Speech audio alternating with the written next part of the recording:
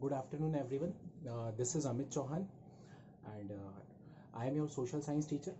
I will teach you. Uh, I will teach you social science.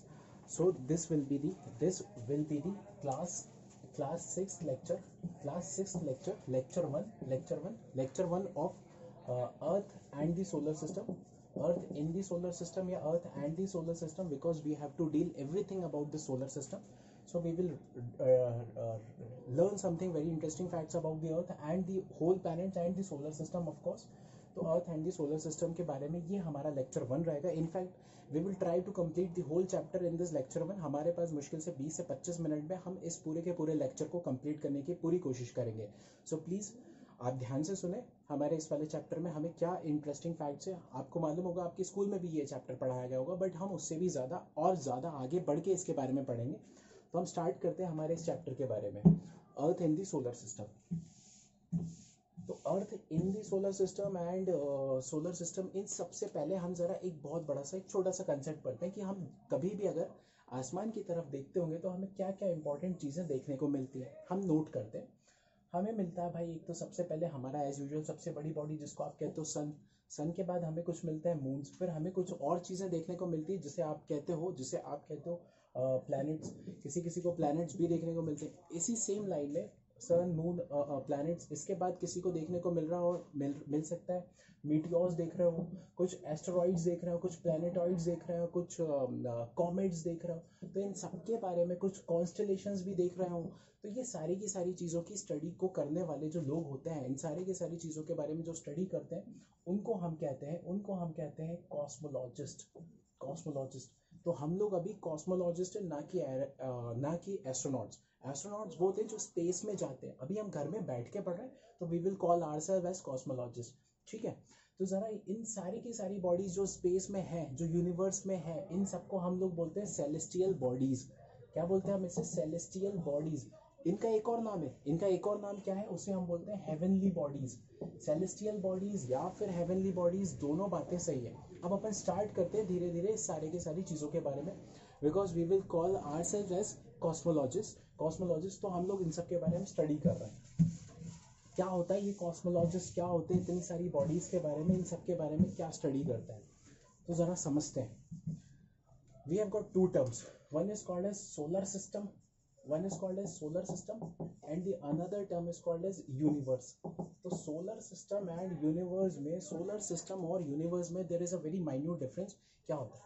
Solar system means हमारा जो solar system है, उसमें क्या है वो एक सन और and star sun and the family sun and its family family में कौन कौन से हमारे पास फैमिली में उसके पूरे आर्ट प्लैनेट्स और बाकी एस्टेरॉइड्स मीटियोर्स ये सारी चीज़ों को हम सोलर सिस्टम में रखते हैं।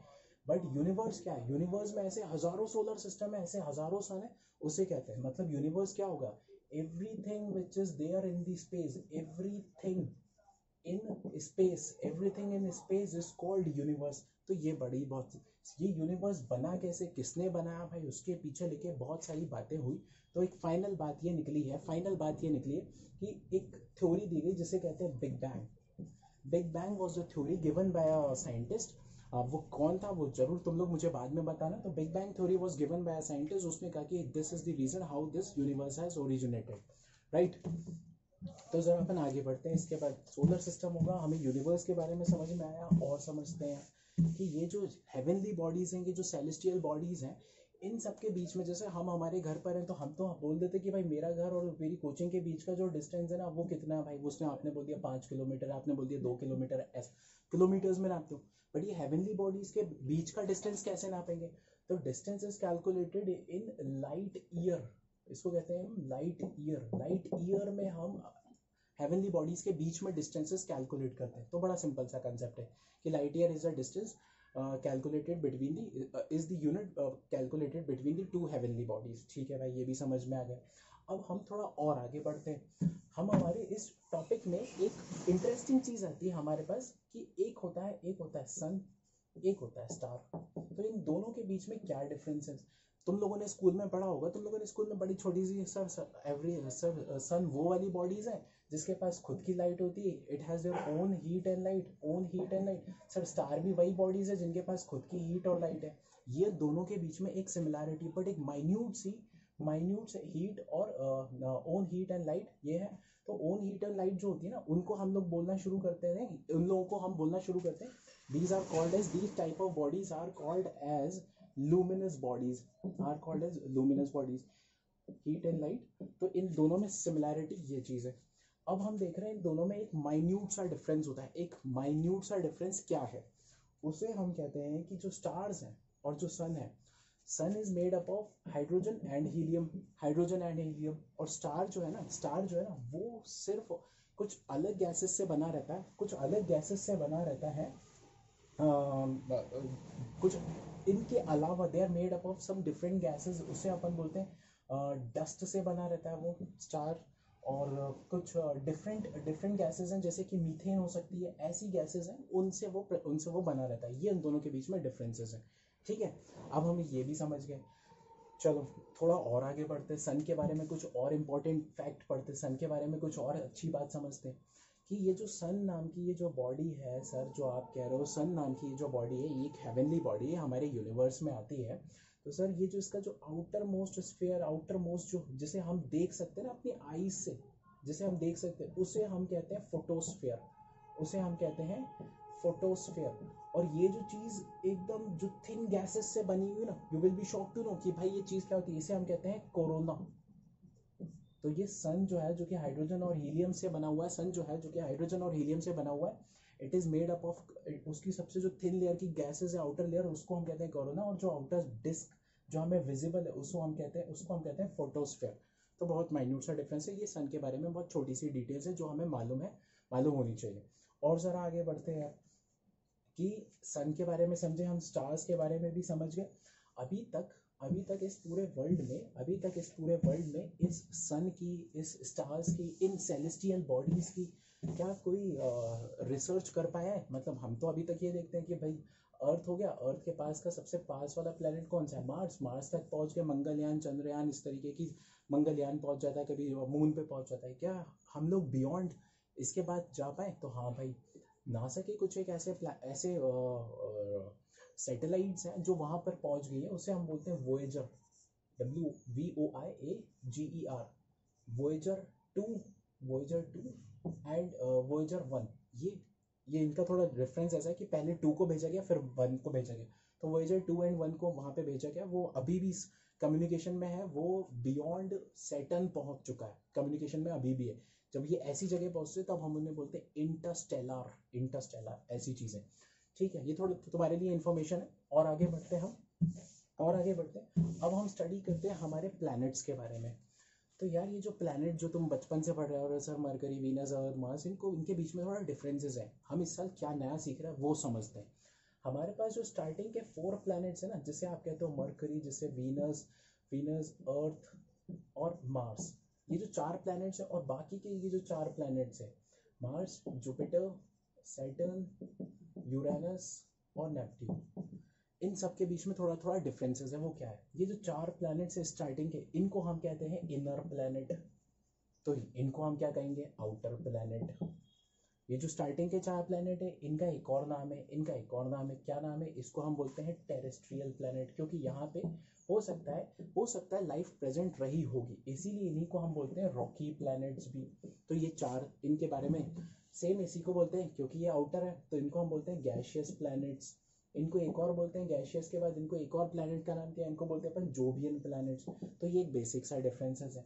अब इन चीज़ों के बाद इन चीज़ों के बाद हम एक छोटा सा और स्टडी करेंगे कि हम आ, हम वैसे सारे के सारे प्लैनेट्स के बारे में पढ़ेंगे। तो उनके बारे में अभी भी हम कॉस्मोलॉजिस्ट ही कहलाएँगे but when we study accurately बहुत ही ज़्यादा पढ़ना शुरू करेंगे अगर मून के बारे में। तो मून की स्टडी को हम कहना शुरू करते हैं सेलिनोलॉजी मून की स्टडी को हम कहते हैं सेलिनोलॉजी तो ध्यान दें मून की स्टडी को हम कहते हैं selenology point to be remember और आगे बढ़ते हैं कि ये प्लैनेट्स और वो जो हमने अभी पढ़े स्टार्स इनके बीच में क्या डिफरेंसेस हैं? ये सारे के सारे प्लैनेट्स जो है ना भाई, इनके पास नो हीट एंड लाइट कोई हीट और लाइट नहीं होती. तो इनको हीट और लाइट कहाँ से मिलती है? इनको हीट एंड लाइट मिलती है सन से भाई. तो they reflect the heat and light of sun point number one दूसरा पॉइंट क्या लिखेंगे हम? कि इसमें से ये जो आखिरी की ये जो चार प्लैनेट्स है ना, आखिरी की ये जो चार प्लैनेट्स है ना, उनको हम कहते हैं ringed planet R I N G D rings बनी हुई है। तो इसका एक और नाम नॉन रिंग्ड प्लैनेट जी हमारा दिमाग लगा रहे हैं भाई। ये तो साइंटिस्ट ने बोला, हम हमारा, क्योंकि आखिरी के चार प्लैनेट्स में रिंग्स बनी हुई है। इनमें नहीं है भाई, ऐसी बात। और एक और चीज़ लगा सकते हैं कि भाई यहाँ पे सिर्फ़ एक मार्स ही ऐसा प्लानट आता है जिसके पास मून्स है, बाकी इनके पास तो है ही नहीं। अपन आगे बढ़ते हैं। चलो, ये चीज़ें हमें अभी तक समझ में अब अपन आते हैं दूसरे पॉइंट्स पे। हम समझते हैं इन सारे के सारे प्लैनेट्स के बारे में थोड़ा थोड़ा स्टडी करते हैं। तो एक सबसे पहला स्टडी करते हैं। सबसे पहली स्टडी करते हैं मरकरी के बारे में। मरकरी के बारे में, मरकरी के बारे में सबसे पहली बात, सबसे पहली बात कि भाई ये मरकरी का नाम ही किसने दे दिया यार? मरकरी का नाम जो है ना, मरकरी का जो नाम है ना, वो पढ़ा है, मरकरी का जो नाम है, वो पढ़ा है एक रोमन गॉड पे। बट वो कौन सा था? उसको बोलते हैं मैसेंजर ऑफ़ रोमन गॉड तो messenger of Roman god Mercury उसके नाम पे आया और क्या बता सकते हैं मरकरी के बारे में? मैसेंजर ऑफ़ रोमन गॉड इसके बाद हम एक और पॉइंट ऐड कर सकते हैं उसमें कि it is the closest closest वाला है तो क्लोजेस्ट है तो थोड़ा हीट हीटेस्ट भी है, बहुत ज़्यादा हॉटेस्ट प्लेनेट भी है hot one of the hottest ऐसे लिख सकते हैं इसमें, क्योंकि वीनस सबसे ज़्यादा हॉट है, ये नहीं है मरकरी नहीं है, उसका रीज़न क्या है, वो अब मैं तुम्हें बताऊँगा। इसमें एक और पॉइंट ऐड करेंगे हम मरकरी के बाद मरकरी के बाद मरकरी में हमने क्लोजेस्ट लिख रहा है, और मैसेंजर ऑफ़ रोमन गॉड लिख रहे हैं, और इसमें हम एक और चीज़ ऐड करेंगे, इसमें हम एक और चीज़ ऐड ये करेंगे कि सर ये वाला जो प्लानट है ये वाला जो प्लानट है क्लोजेस्ट uh, भी है और स्मॉलेस्ट भी है। क्लोजेस्ट एंड स्मॉलेस्ट प्लानट भी है क्योंकि वो उससे भी छोटा है। लास्ट वाला जो नेपट्ट्यून uh, है ना उससे भी छोटा प्लानट एक और पॉइंट इसमें अपन ऐड करेंगे। इसमें हम पॉइंट ये ऐड करेंगे कि ये जो मरकरी है इसके पास नो गैस रहने के लिए कोई एटमॉस्फेयर नहीं है इसीलिए भाई नो गैसेज आर प्रेजेंट ठीक है? ये वाली बात हम इसमें नो गैस नो मून कोई बूथ कोई भी मून नहीं है इसके पास ये वाली बात है। ये होता है हमारा मरकरी के बारे में छोटा सा थोड़ी बहुत इन्फॉर्मेशन गैदर करने वाला। फिर दूसरा प्लानट आते हैं इस, इसको मिटाते हैं अपन। दूसरा प्लानट आते हैं इसको अपन बोलते हैं वीनस वीनस के बारे में ज़रा पढ़ते हैं। वीनस क्या है? वीनस का एज यूजल इसके बारे में पहला नेमिंग जान ले। Named after the Roman god of love and beauty named after the Roman god of love and beauty love and beauty तो ये ब्यूटी लव एंड ब्यूटी के ऊपर इसका नाम दिया गया है वीनस तो वीनस के बारे में एक इंटरेस्टिंग फैक्ट ये है कि वीनस आपको अपनी आईज से देख सकते हो, रोज सुबह और शाम को, सुबह करीब करीब छः से सात बजे के बीच में और रात को भी करीब छः से सात बजे के आसपास आपको वीनस दिख सकता है। वीनस को हम कहते हैं morning and morning and evening star morning and evening star और वीनस जो है ना, वो लगभग लगभग हमारे अर्थ के जैसा दिखता है तो इसको हम कहते हैं twin planet twin planet of earth Venus plus हमारा ये जो मार्स है ना, वो भी अर्थ के जैसे ही दिखता है. बट वीनस जो है, वो पूरे के पूरे सोलर सिस्टम में से, पूरे के पूरे सोलर सिस्टम में से सबसे ज़्यादा एक्सट्रीमली इसमें हम लिखेंगे हॉटेस्ट प्लानट उसका रीज़न क्या है, वो मैं तुम्हें बताता हूँ. सर वीनस में क्या है? कंटिन्यूसली वीनस का ये जो वीनस है, इसमें कंटिन्यूसली सन की टेम्प रेज आ रही है सन की हीट आ रही है और इसके अंदर ही आके वो रह जा रही है। उन रेज को वापस बाहर जाना चाहिए था। जैसे हम कहते हैं ना इनकमिंग एंड आउट गोइंग होनी चाहिए थी तो आउट गोइंग हो ही नहीं रही। यहाँ पर सिर्फ़ आती जा रही है रेस और ट्रैप होके रह गई हैं, जो हम ग्रीन हाउस इफ़ेक्ट में पढ़ते हैं कि गैसेस आ गई, फिर बाहर चली जाती हैं। वैसा नहीं हो पा रहा है। तो बाहर बाहर नहीं जा रही है तो ये कंटिन्यूसली इसका टेम्परेचर बढ़ता जा रहा है। और यू विल शॉक कि भाई इसका दिन के समय में ना करीब करीब भाई सिक्स हंड्रेड डिग्री सेल्सियस का टेम्परेचर पहुँच जाता है। और ऐसी कहानी ये है वीनस के बारे में छोटी सी बातें। वेरी वेरी हॉटेस्ट और uh, ये भी बताया very hottest twin planet morning and evening star named after the Roman god of इसके पास भी कोई मून नहीं है यहाँ पे भी कोई लाइफ एग्जिस्ट नहीं करती है तो ये हमारे पास बहुत छोटे इंपॉर्टेंट पॉइंट्स याद होने चाहिए। हम दूसरे प्लानट पे बढ़ते हैं हम दूसरे प्लानट पे बढ़ते हैं इस प्लानट का नाम है मार्स अर्थ के बारे में एकदम अलग से स्टडी करेंगे। हम अभी पढ़ रहे हैं मार्स के बारे में। मार्स के बारे में क्या है? सबसे पहला मार्स क्योंकि वो पूरी कैसे कलर का है? रेडिश कलर का है। तो मार्स जो है ना रेडिश कलर का है तो named after the Roman god of Roman god of war क्योंकि लड़ाई में बहुत ज़्यादा खून खराबा होता है। तो भाई इसको रोमन गॉड ऑफ़ वॉर के नाम पे दे दिया। एक और इंटरेस्टिंग बात क्या है कि रोमन गॉड ऑफ़ वॉर के बाद मार्स के पास दो मून्स हैं। Two moons are of Mars वो कौन कौन से एक का नाम है फोबोस फोबोस और एक का नाम है डेमोस तो Phobos and Deimos are the two moons of Mars एक और पॉइंट ऐड करते हैं, एक और पॉइंट इसमें ऐड करते हैं कि मार्स के ऊपर कुछ एक ऐसे मिशन पहुँच चुके हैं, जैसे कि आप कहते हो मंगलयान, है ना? हमारे इंडिया का मिशन पहुँचा था। मंगलयान ऐसा एक मिशन हो गया। ऐसे ऐसे ही भाई यूएसए का भी पहुँचा है, इनके बारे में भी पहुँचे तो ज़रा एक इंटरेस्टिंग फैक्ट नोट करते हैं। क्या हमारा ये जो मंगलयान है, उसको भेजने वाली कौन सी एजेंसी जिसका नाम है इसरो? तो क्या वर्ल्ड में कोई और भी ऐसी एजेंसीज हैं? तो हाँ भाई, है। तुम लोग बोलोगे, सर, एक तो है, सर, मुझे सबको मालूम है नासा नासा किसकी है? यूएसए की है। सर, आपने कहा एक और होती है, सर, इसरो। ये किसकी है, इसरो? आपने बोल दिया, सर, ये इंडिया की है। ठीक है भाई। इसके अलावा बताता हूँ मैं तुम्हें एक है जापान की, उसका नाम है जाक्सा। ये किसकी है? जापान की। एक और है जिसको बोलते हैं रॉस कॉस्मोस। ये किसकी है भाई? रॉस कॉस्मोस जो है ना, वो है हमारी, वो है हमारी रशिया की रशिया की। एक और है हमारी चाइना की। इसको अपन बोलते हैं C N S A, Chinese naval space agency China की। एक और है हमारी जिसको यूरोपियन ने बना हुआ रखा है, उसको बोलते हैं E S A, European space agency. ये है इतनी सारी स्पेस एजेंसीज हैं पूरे वर्ल्ड में जो कुछ ना कुछ काम कर रही हैं। तो हमें ये छोटी छोटी बातें इंपॉर्टेंट तरीके से याद होनी चाहिए ठीक है? अभी अपन अभी अपन आ, अभी अपन आते हैं अभी अपन आते हैं मार्स के बाद दूसरे प्लानट पे दूसरे प्लानट पे आते हैं। हम पढ़ते हैं हम पढ़ते हैं मार्स के बाद आएगा जुपिटर जुपिटर तो जुपिटर पे जुपिटर के बारे में क्या इन्फॉर्मेशन है हमें वो गैदर करते हैं।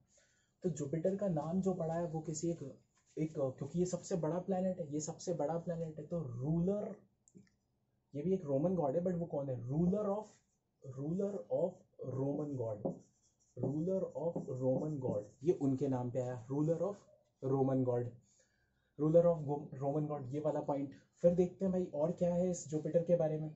क्योंकि जुपिटर के पास क्योंकि जुपिटर के पास 79 क्योंकि जुपिटर के पास 79 मून्स हैं, क्योंकि जुपिटर के पास 79 मून्स हैं तो इसीलिए इसीलिए हम इसे बोलते हैं, इसीलिए हम इसे बोलते हैं, इसीलिए हम इसे बोलते हैं मिनी सोलर सिस्टम इसीलिए हम इसे बोलते हैं मिनी सोलर सिस्टम ये वाली बात, ये वाली बात हमें याद रखनी पड़ेगी। मिनी सोलर सिस्टम हुआ। और क्या समझते हैं भाई? ये जो जुपिटर है, इसका ये जो मून है, इसके पास जो मून है इसमें जो सबसे बड़ा मून है, उसका नाम है Ganymede G A N N Y M E D Ganymede is the largest moon of the Jupiter point याद रखने वाला हो गया। और ये कैसा है? जुपिटर जो है, वो लार्जेस्ट लार्जेस्ट प्लैनेट है लार्जेस्ट प्लानट है।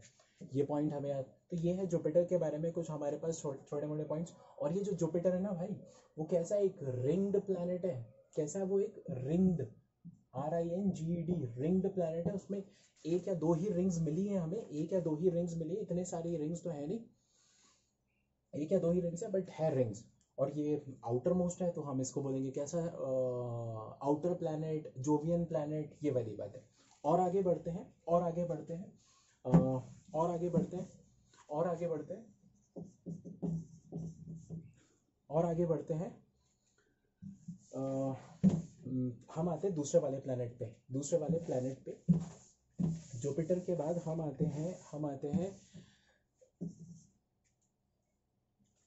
कितना टाइम हो गया ये दूसरा है? पॉज कर दो।